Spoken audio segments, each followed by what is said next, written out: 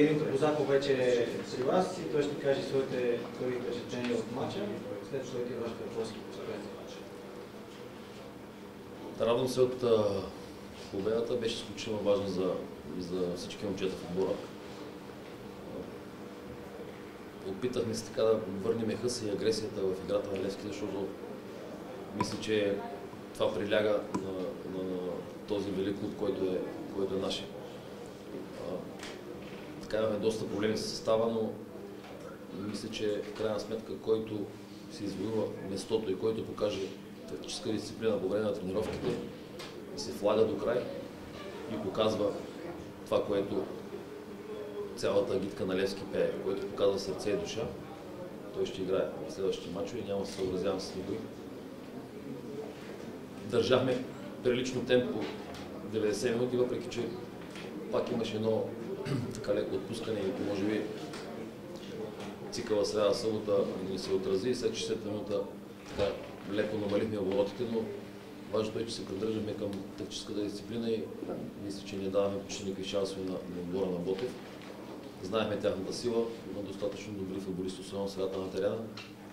И това не беше основната идея, която се радвам, че се получи, да прекъснем тази връзка между разиграващите им футболисти и хората в предни позиции. Печелихме единоборството, което мисля, че това е също важно нещо. И така респектирахме отбора на Ботев. Подложихме ги под напрежение. Естествено и с тези два ранни гола, може би придобихме още по-голямо самочувствие и изиграхме наистина като отбор. И плюс доказателство за време за победата и за смелостта да пусне за толкова много минути. Седахте ли с оглед на това, че в следващите няколко месеца се оказва, че поне на практика ма излиза, че трудно ще играе за нещо повече от това да се защити честа. Ще да се по-често следващите мачове поне толкова на брой юноши на клуба. Пак може би ще се повторя, няма да толерирам никой. Искаме се да има все повече и все повече юноши в състава, това не го отричам. Но имаме достатъчно класни футболисти, които казах, че в този матч по една причина не взеха участие. Така че ние имаме 25 футболисти, които трябва всеки момент, когато влезат на терена, да се раздават до край и да покажат това, което могат. Техните качества, щом са в Левски, мисля, че а, няма слаб футболист в Левски. Така че надявам се, че ще показват на тренировките този хъс, това желание, това, което се иска от тях на, на терена на всяка една позиция, за да, за да може да, да участват повече юноши в мачовете, но това изобщо няма да дойде даром, а с извоюване на терена и в тренировки. В победа, макар че един мач не може да правят много големи изводи, колко близо беше Лески днес до това, което ви искате да виждате от отборството? Ми, прав сте сега да кажем, че от една победа сме променили всичко с магическа пръчка. Едва ли, едва ли е така. Има доста неща, които желаем да се подобрят. Най-вече в това ние държиме най-вече инициативата, а не да, да чакаме противника в нашата половина и да играем един вид на контратака. Искам ние да притежаваме топката, ние да диктуваме темпото на матча, ние да сме по-бързите, ние да сме по-силните футболисти.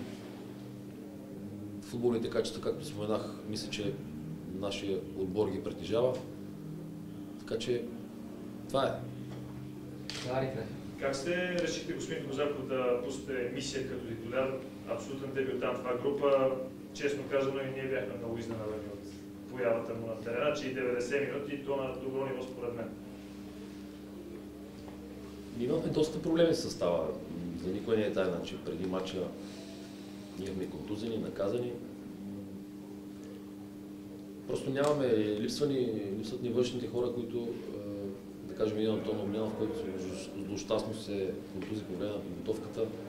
При положение, че Кристовал Рамос не беше в абсолютно никакво състояние да играе дори една минута в този матч.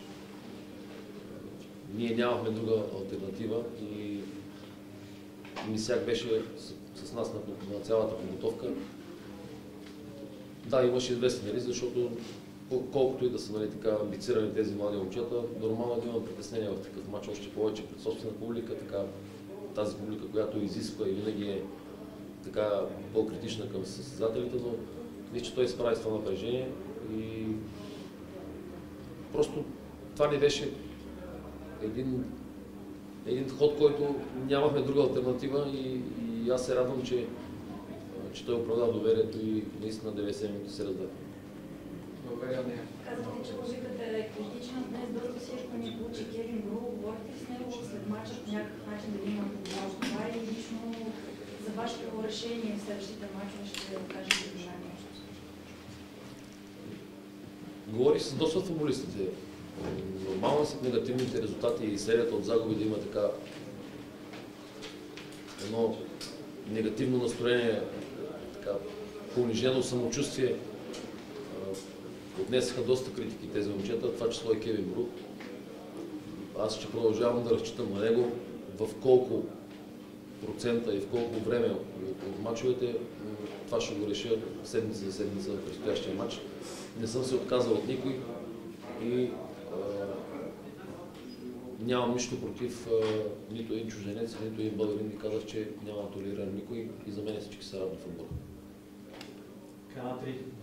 Днес Лески излезе с един типичен Десазин Михайлов, както когато не беше играл доста време така в лицето на Дани Димов, който че ли това даде доста сигурност на отбора. Хареса ли той как игра днес и мислите ли да, на- да залагате на него именно тази позиция? Е, това ще го решаваме според зависи мачовете и състава, който разполагаме, в смисъл такъв, кои са готови да, да играят, които не, не са контузени и не са наказани.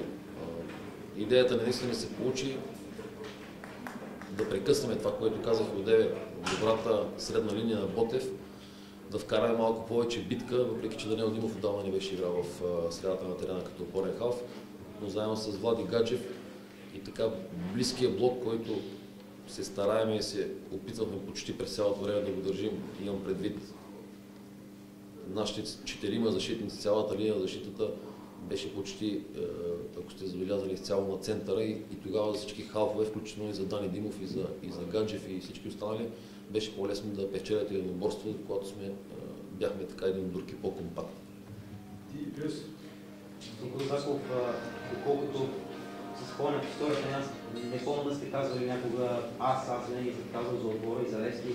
Смятате ли сега това като шанса на живота си, така да го кажа, в тренерската кариера? Много треньори са чакали този момент, като идва за вас и допълнение към въпроса, ако хипотетично Георги Иванов се, се върне, мислите ли в по-далечен план в тази насока? Значи просто така се разви ситуацията. Аз най-малко съм очаквал, че са толкова неуспешни матчове, това в число включва и предходния сезон, защото аз бях част от щаба на няколко треньори, които се смениха. Амбициозен съм до толкова, доколкото искам да, да се развивам в тази професия. Не съм болезнен, амбициозен и, и, и да казвам аз ще бъда и, и днеска след една победа да изтъкваме нали, колко добре е играл Левски. Искам да се развивам в тази професия, но какво ще стане за мен, за един тренер го пазят резултатите. Ако имаме резултати, отбора играе добре, може би ще си подсигуря някакво така бъдеще, дали в по-близко или в по-далечно, или в тренерското попреще. Относно а, въпроса за Георги Иванов, не съм се чувал с него. Не знам дали изобщо кога ще дойде в Левски и какви са му идеите, ако случайно дойде. Така че на този въпрос за сега не мога да ви отговоря. Последния въпрос, Дарик. В края на матча ми направи впечатление, че феновете скандираха вашето име, вие посочихте футболистите, които отидоха да ги поздравяват. Какво послание искате да отправите към съпаратниците на Лески?